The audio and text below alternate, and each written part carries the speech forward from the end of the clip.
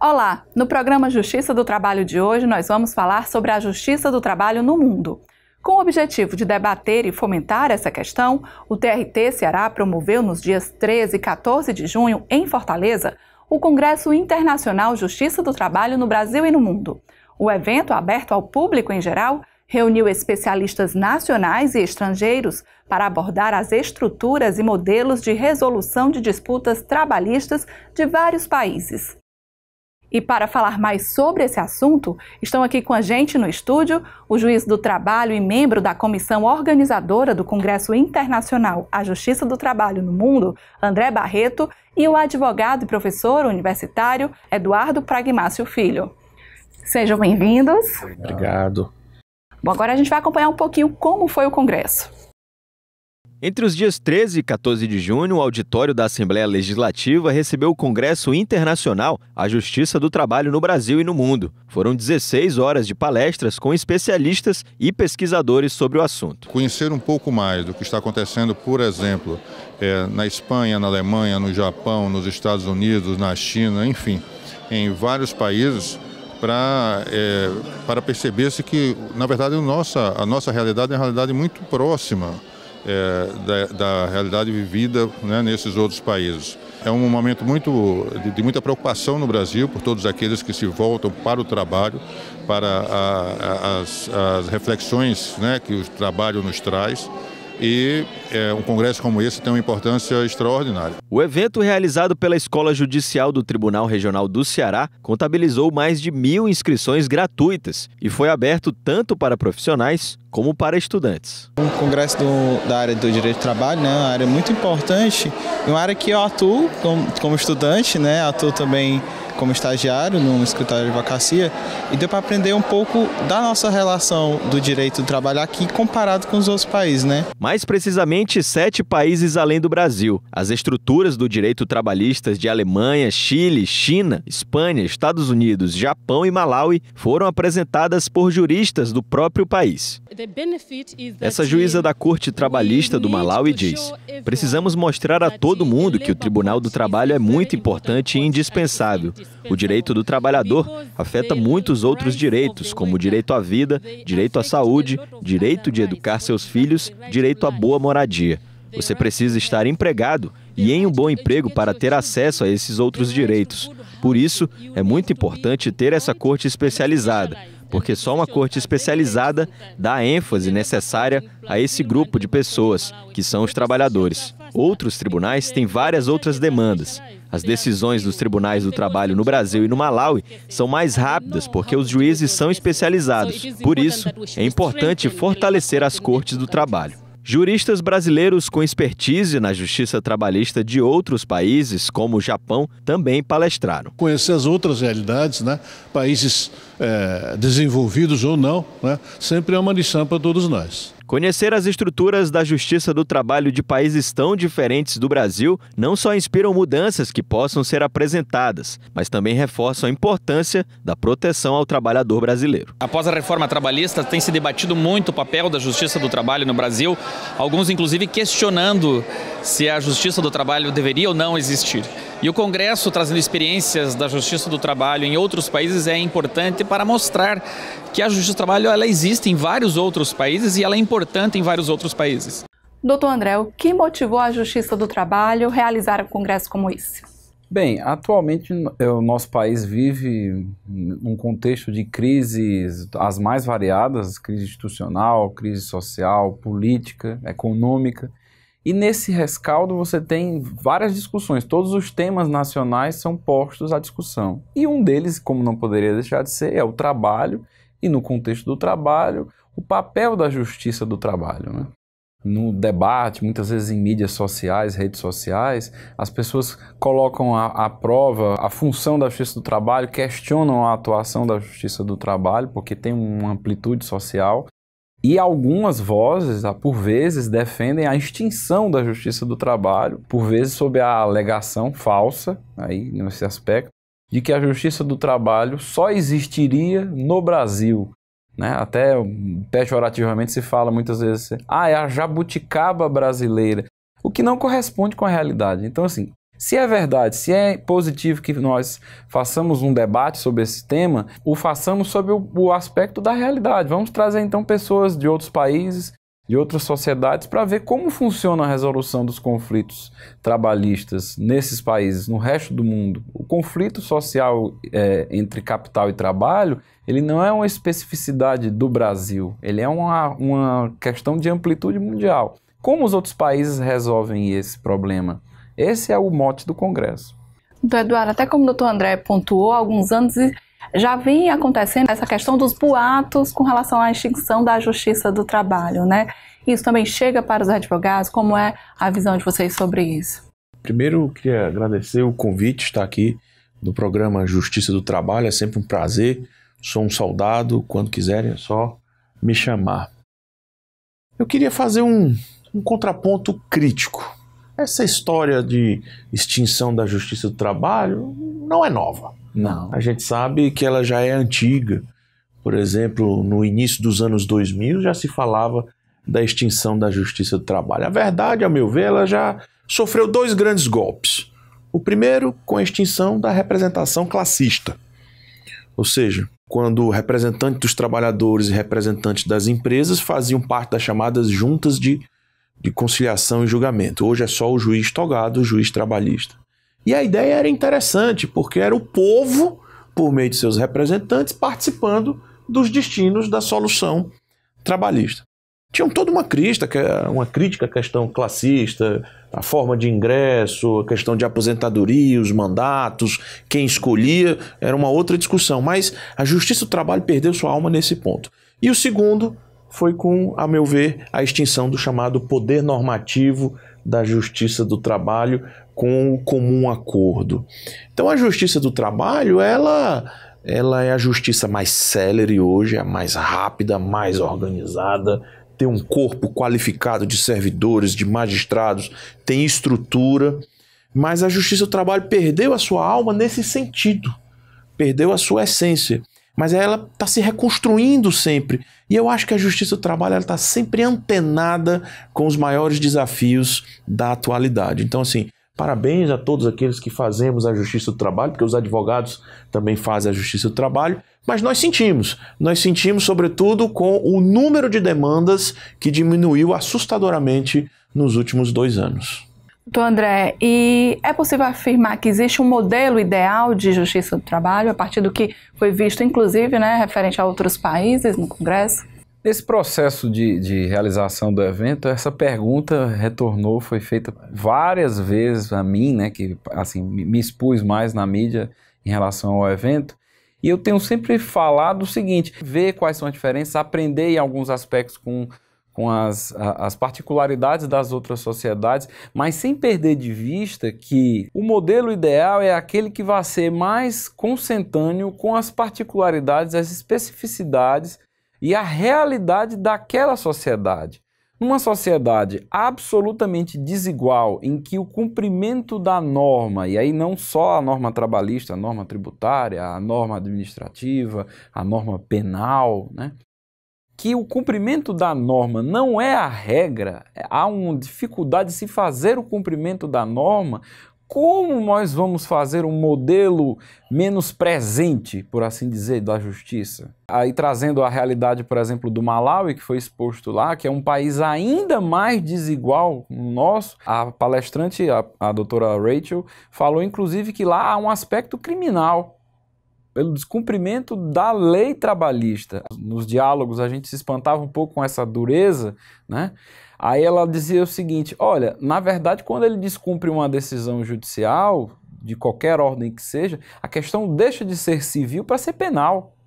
Ou seja, mas talvez isso, essa dureza, por assim dizer, ela esteja muito mais adequada a uma, a uma sociedade que, como as próprias palavras da doutora Rachel, é o país, o quarto país mais pobre do mundo.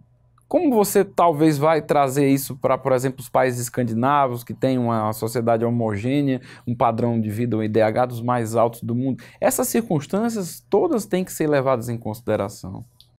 Nós vamos fazer uma pausa e em instantes voltamos com o programa Justiça do Trabalho. Voltamos com o programa Justiça do Trabalho, hoje falando sobre a justiça do trabalho no mundo. Doutor Eduardo participou da mesa da Justiça do Trabalho no Japão, né? O que, que a gente pode destacar da Justiça do Trabalho nesse país?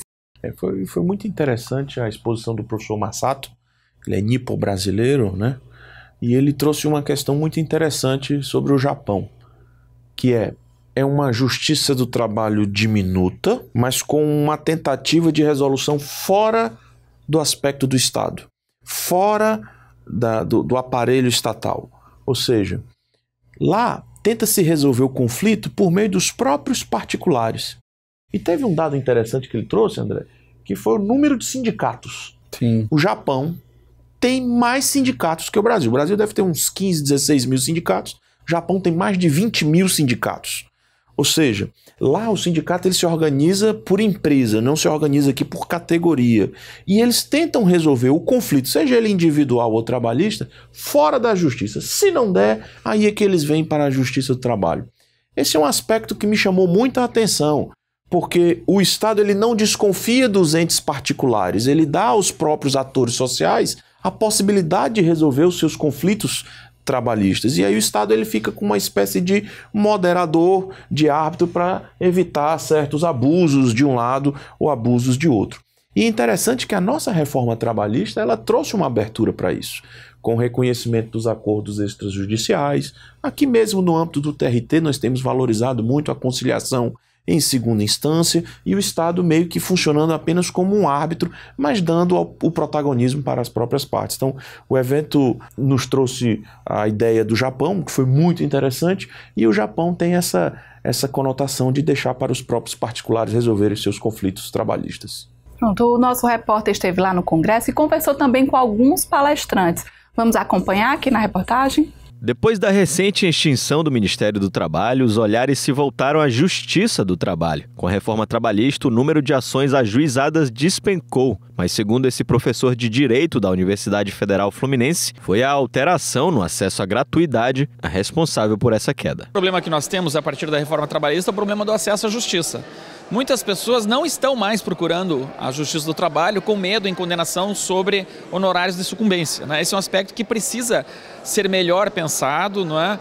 Esse, essa, essas exigências de pagamento de honorários quando a parte é vencida, porque isso é um obstáculo que se criou, um obstáculo artificial que se criou para acesso à justiça do trabalho. Diante das apresentações, os palestrantes puderam fomentar a discussão de como a legislação trabalhista brasileira pode avançar. A juíza aposentada Antônia Mara Luguércio, especialista no exemplo chinês, acredita que o modelo tripartite utilizado lá poderia ser uma saída para dar celeridade à resolução de conflitos aqui. Nós perdemos uma oportunidade da, da resolução tripartite, como tem a OIT, né? E, e, que tem lá eles usam muito lá na China essa história da, do poder tripartite, porque tem, ainda tem uma alternativa administrativa que faz montam, né, um, um funcionário do Estado, o, empregado, o representante dos empregadores, o representante dos empregados, e o trabalhador pode ir a este, digamos assim, tribunal administrativo e tem que aplicar a lei e tem que resolver também.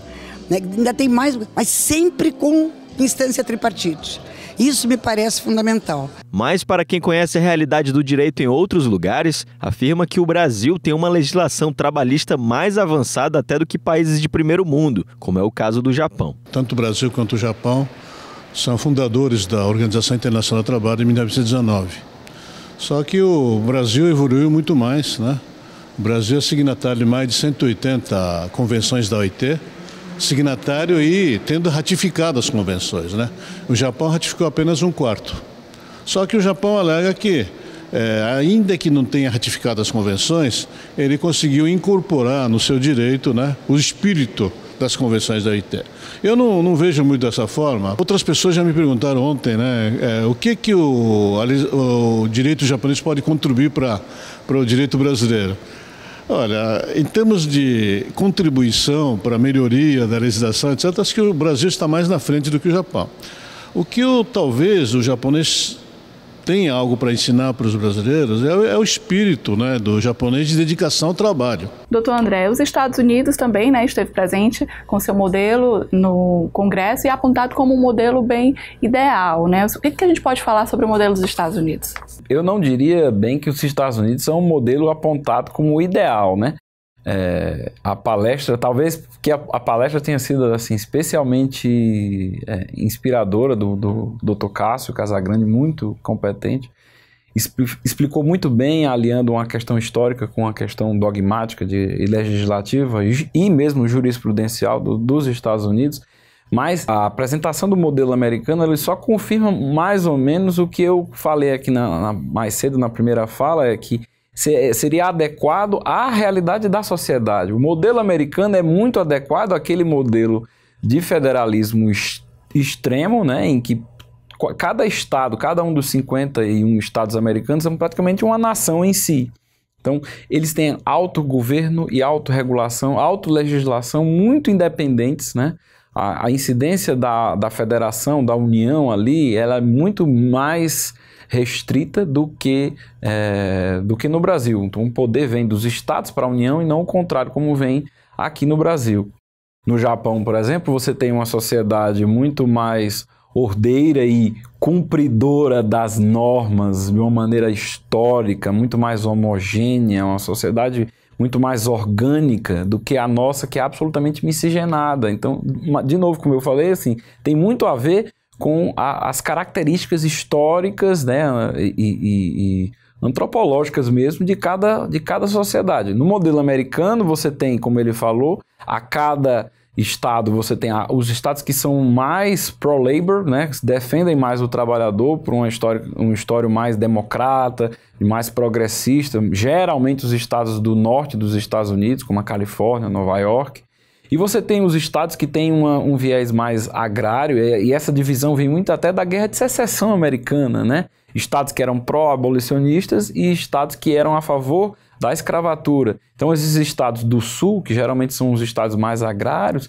eles têm uma regulação trabalhista menos protetiva, um laissez-faire, então as pessoas têm uma liberdade maior, o que muitas vezes gera um desrespeito às legislações e aos direitos trabalhistas, o que dirá da questão da, do, da exploração do trabalho dos imigrantes né, latinos nos Estados Unidos, que é em grande medida uma boa mola da economia americana e sempre foi.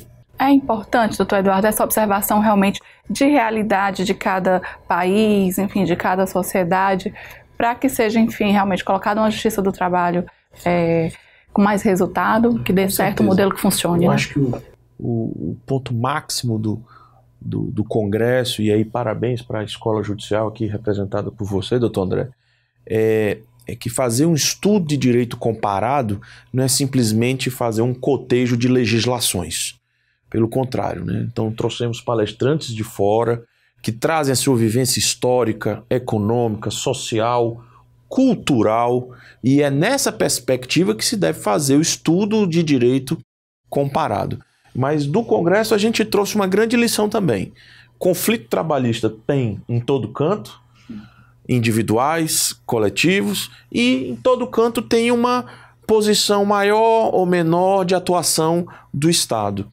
Eu acho que a grande lição também deste Congresso é a Justiça do Trabalho está fazendo uma autorreflexão, como a advocacia também faz, como a gente faz nas nossas famílias, como a gente faz nos nossos negócios. E a Justiça do Trabalho está fazendo essa autorreflexão pós-reforma trabalhista, num mundo mais aberto, num mundo, às vezes, por um lado vai para um lado da direita, por outro vai para o lado da esquerda. Temos experiências diferentes aqui na América Latina, temos né? A, o México agora está um governo mais de esquerda, mas é essa experiência interessante, esse intercâmbio de ideias de cultura e de história que é muito importante. A gente vai fazer mais um rápido intervalo e volta daqui a pouco com o programa Justiça do Trabalho.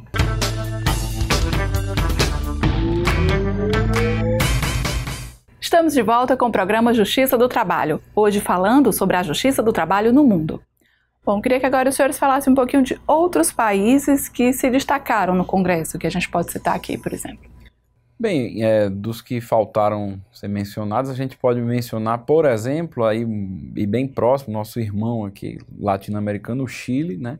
que passou por um processo muito extremo, rígido de, de liberalismo, né, no contexto da ditadura Pinochet, e que, por exemplo, é, privatizou a, a, a, Previdência e extinguiu a Justiça do Trabalho. Então, e, e a Previdência hoje se vê aí, é, é questão pública notória, os problemas que se deu pela capitalização extrema da Previdência chilena e a Justiça do Trabalho, cinco anos após, como bem nos disse o professor historiador é, Diego Ortuza, que nos falou sobre, é, cinco anos após a extinção da Justiça do Trabalho no Chile, em 81, em 86 ela voltou ainda mais revigorada. Né? A sociedade chilena né, viu que era um erro acabar com uma, uma, um ramo do Poder Judiciário que se ocupava exatamente deste conflito. Né? A literatura mundial é plena da necessidade de. Você pode, por exemplo, ver Emílio Zola falando no Germinal o que, o que, que acontece quando a sociedade deixa de regular esse conflito? Esse conflito ele existe, não é por uma canetada que vai acabar o conflito. E se existe o conflito, é preciso que alguém o regule, seja os particulares, seja o Estado em seu aspecto judiciário, que é o caso do Brasil, e seja mesmo no aspecto administrativo. Em alguns, alguns estados americanos não há um, um ramo do Poder Judiciário, mas há agências muito atuantes na, na, fiscalização do cumprimento da legislação. E você pode também mencionar, aí que também faltou menção, na Alemanha, que passou por um processo muito violento de transformação social no fim da Segunda Guerra, durante a Segunda Guerra e após a Segunda Guerra, quando é a depuração do regime nazista, e você tem hoje na Alemanha um sistema, até o mais parecido dos que, eu, dos que me constam, mais parecido sistema de judicial trabalhista é exatamente da Alemanha, com judiciário especializado, juiz togado, em três sistemas, três ramos, três graus de jurisdição, exatamente como nós temos aqui com juiz singular, tribunais e Tribunal Superior do Trabalho. Então foi bastante rico essa, essa troca de experiências. E a gente tem mais recente também a reforma trabalhista, né? O que, que ela trouxe de mudança para a justiça do trabalho, de inovação? É, a gente tem como comparar também com alguns outros países, né? O que, que a gente pode falar do impacto da reforma na justiça do trabalho? A reforma ainda gera muitas polêmicas para todo mundo, né? Existem os pró-reformas, os contra-reforma. A verdade é que a reforma foi feita. A minha impressão, como eu já falei aqui, é que o Estado Democrático de Direito deu uma abertura para os particulares fazerem, tentarem resolverem os seus conflitos. Deu um certo freio, por assim dizer, no ativismo judicial do TST e criou um, uma espécie de dilema, porque o TST não consegue atualizar agora as suas súmulas e adequar a nova legislação porque não tem um quórum qualificado que a própria reforma trouxe, né? Mas para mim ficou muito claro que a reforma ela foi uma espécie de interpretação autêntica do próprio poder legislativo, dizendo a gente interpreta a lei trabalhista desta forma e não como a justiça do trabalho. E aí, capitaneada pelo TST, estaria interpretando. A reforma trabalhista ela trouxe uma reinvenção da justiça do trabalho. E a gente estava falando aqui há pouco né, sobre a possibilidade de vir a competência previdenciária, porque em todo canto do mundo a gente estuda direito do trabalho e da seguridade social. Direito do trabalho e previdência. E a gente tem uma competência previdenciária, mas uma competência previdenciária acessória de arrecadação. Mas questões de benefícios, aposentadoria, a gente não, não trata, então poderia ser um revigoramento né, da justiça do trabalho nesse ponto. Doutor André, ainda sobre a reforma, ela trouxe também um impacto de redução, não é isso? Esse freio que o doutor Eduardo falou, isso, o que, isso pode significar? Assim, como a gente pode interpretar isso para a justiça do trabalho? Eu acho que ele sinaliza um processo de conformação. Nós, nós tivemos, e aí como bem falou o doutor Eduardo, uma absoluta transformação, não, não, não tanto, se não tanto da justiça, mas com certeza do direito do trabalho. Né? De fato, havia em alguns aspectos um, um, um acentuado ativismo, é, é, reconhecendo situações, obrigações ou, ou, direitos que não estavam expressamente reconhecidos na legislação. Então, isso, isso causou uma reação, né, e com a ascensão de, de, determinadas linhas ideológicas que eram supostamente contrárias a ideais que, que defendem o trabalhismo, por assim dizer, essa, essa resposta veio de uma maneira muito forte, muito acentuada na legislação com alteração de mais de, de 100 artigos. E isso também tem um efeito nos juízes, que são aqueles encarregados da interpretação da norma. É, em relação às partes, você tem agora o encarecimento né, do, do, acesso à justiça com a necessidade de, de, de pagamento de sucumbência eventual, risco, né? um risco de sucumbência, e, o, e aí a necessidade do pagamento de, de custos, me, custos e outras despesas processuais, mesmo para aqueles que estão é, é, agraciados com o benefício da justiça gratuita. Isso para as pessoas né, é uma reação lógica de você dar um, um freio ali na, na, na, naquela intenção de ajuizar as ações. Mas eu acredito que com a consolidação, com a cristalização da jurisprudência, esse, essa, essa diminuição do número de ações eu acho que tende a voltar, não, se não para o patamar que estávamos anteriormente, mas para alguma coisa ali no meio. É. Houve desincentivos econômicos para não se resolver o conflito por meio da jurisdição, e sim procurar os chamados meios alternativos ou meio adequados de solução de conflitos, como conciliação, mediação e até a arbitragem. Né? Nosso tempo está acabando, mas queria que os senhores falassem de, um, de, uma maneira geral sobre a repercussão do Congresso, né? A importância aqui para a Justiça do Trabalho do Ceará. O Congresso foi maravilhoso, parabéns mais uma vez à Escola Judicial, deu abertura a todos os jurisdicionados, toda a comunidade acadêmica, advogados, procuradores do trabalho, magistrados, os auditórios estavam lotados com palestrantes de fora. Então, assim, parabéns por essa atividade do, da Escola Judicial e do TRT. É, eu também achei muito rico e, e há, é um, há, um, simbolismo em ter sido feito na casa do povo, não num fórum judiciário em que se teria a interpretação de que estaria fechada aos profissionais do direito. Todos aqueles do povo, as pessoas, os políticos estiveram lá, as pessoas que não são do, do, do meio judiciário estiveram lá, puderam contribuir, perceber as realidades, comparar com a sua própria realidade. Eu acho que foi muito, o saldo foi muito positivo. Ok, obrigada pela presença dos senhores. O programa Justiça do Trabalho fica por aqui. Mais informações sobre o TRT Ceará no site www.trt7.jus.br. No site você também pode acompanhar esse e outros programas. Para participar com dicas e sugestões, é só enviar para o e-mail justiçadotrabalho@trt7.jus.br ou ligar para o 85 3388 9426. Até mais.